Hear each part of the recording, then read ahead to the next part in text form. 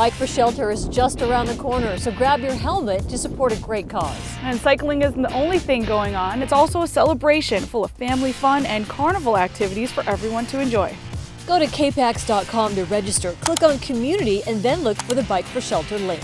Watson Children's Shelter uses the money raised to help kids in need throughout western Montana. So don't miss out on the excitement at the 14th annual Bike for Shelter. Saturday, May 17th, brought to you by these sponsors and KPAX.